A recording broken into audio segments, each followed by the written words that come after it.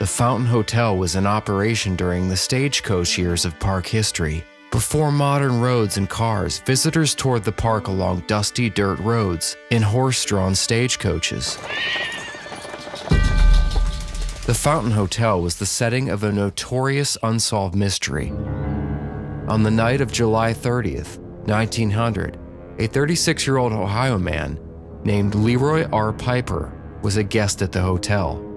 On that night, Mr. Piper ate his dinner, bought a cigar at the stand in the lobby, and stepped out into the night, where he vanished utterly. Although a $1,000 reward was offered and detachments of cavalry searched for weeks, Mr. Piper was never found.